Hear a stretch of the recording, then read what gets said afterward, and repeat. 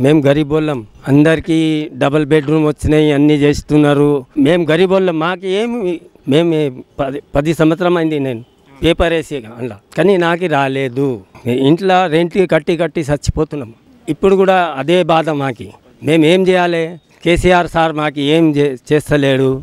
ఇప్పుడు అయితే ప్రభుత్వం అయితే కాంగ్రెసే కాంగ్రెసే వస్తాయి. కేసీఆర్ ఇస్తున్నామంటగా డబుల్ బెడ్రూమ్ ఇల్లు ఇస్తున్నాం దళితులకు దళిత బంధు ఇస్తున్నాం బీసీలకు బీసీ బంధు ఇస్తున్నాం మైనార్టీలకు మైనార్టీ బంధు ఇస్తున్నాం అని అంటున్నాం. మళ్ళీ పెట్టుకోలేదా? ఏమి రాలేదా? అడగలేదా మీ స్థానికంగా ఎమ్మెల్యేని కానీ కార్పొరేటర్ని కానీ పెట్టినాం మేము.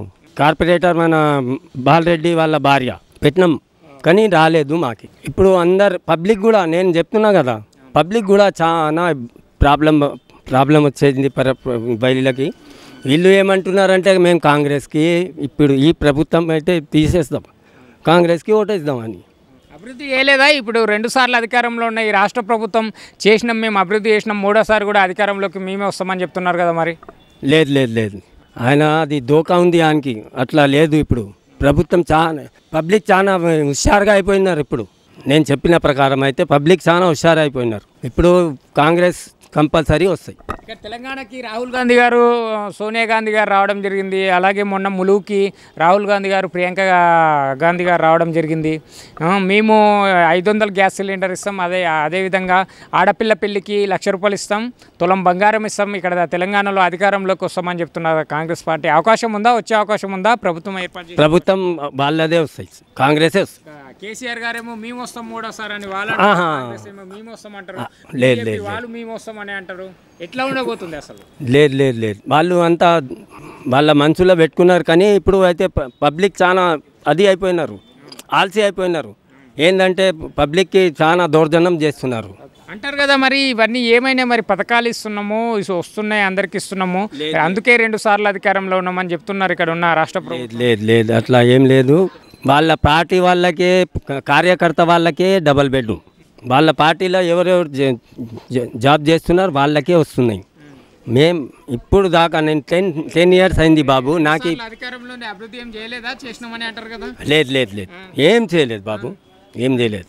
కాంగ్రెస్ దాదాపు యాభై సంవత్సరాల పైన అధికారంలో ఉంది కదా కాంగ్రెస్ మళ్ళీ కాంగ్రెస్ని నమ్మే ప్రసక్తి లేదని చెప్తారు. ఎట్లా వస్తుంది కాంగ్రెస్? ఎట్లా అభివృద్ధి చేస్తుంది? వస్తాయి వస్తాయి కాంగ్రెసే వస్తాయి బాబు. మేం ఇప్పుడు అధికారంలో మళ్ళీ కూడా మీరు ఎప్పుడన్నా మీరు ఇట్లా వస్తే నేను చెప్తా కదా అప్పుడు కూడా. మే నేను మాట్లాడతా అప్పుడు. నేను ఉండేది Sanath Nagar SRT four zero five Sanath Nagar Congress. ఏం చేసింది? యాభై ఏళ్ళ అధికారంలో ఉండి ఏం చేసింది? ఇప్పుడు వచ్చి మళ్ళీ ఏం చేస్తుంది కాంగ్రెస్? వీళ్ళు ఏం చేసినారు? వీళ్ళు తెలంగాణ వాళ్ళు ఏం చేస్తున్నారు? ఏం చేస్తలేరు? వాళ్ళ పార్టీ వాళ్ళకే చూస్తున్నారు వాళ్ళు. వాళ్ళ కార్యకర్త వాళ్ళే చూసుకుంటున్నారు అంతా. మేము గరీబ్ వాళ్ళం. మాకు ఏం ఎవరు ఏం చూస్తలేరు? నాకు ఏం భూమి లేదు ఏం లేదు. నేను ఇంట్లో రెంట్లో ఉంటా నేను. సరే తెలంగాణలో బీజేపీ పరిస్థితి ఎట్లా- ఉంది? సెంట్రల్ పార్టీ రెండు సార్లు రీసెంట్గానే గత కొన్ని రోజుల కిందట నిజామాబాద్కి మహబూబ్నగర్కి నరేంద్ర మోడీ గారు కూడా వచ్చిపోవడం జరిగింది. బీజేపీ పరిస్థితి ఎట్లా ఉంది? బీజేపీ వాళ్ళు మేము ఇక్కడ అధికారంలోకి వస్తాం డబుల్ ఇంజన్ సర్కార్ తోటి అభివృద్ధి చేస్తామని వాళ్ళు చెప్తున్నారు. Sir fifty fifty.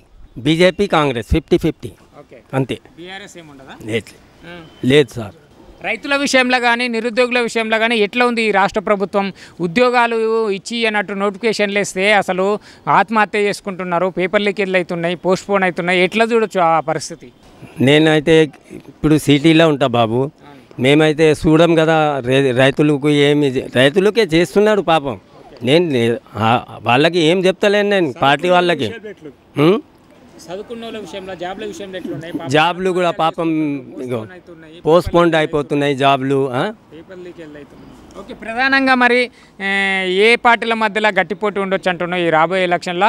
ఒకవేళ మళ్ళీ బీఆర్ఎస్ఏ గెలిస్తే ఎవరు సీఎం అయితే బాగుంటుంది? ఒకవేళ కేసీఆర్ ఉంటే బాగుంటుందా? లేకుంటే ఇంకే వేరే వ్యక్తి ఉంటే బాగుంటుందా? ఒకవేళ కాంగ్రెస్ అధికారంలోకి వస్తే వాళ్ళ దాంట్లో ఎవరు సీఎం అభ్యర్థి ఉంటే బాగుంటుంది? బీజేపీ అధికారంలోకి వస్తే వాళ్ళ దాంట్లో ఎవరు సీఎం ఉంటే బాగుంటుందని భావిస్తాను దానికి అయితే మనం చెప్పగలం కదా. బీజేపీ మన కాంగ్రెస్.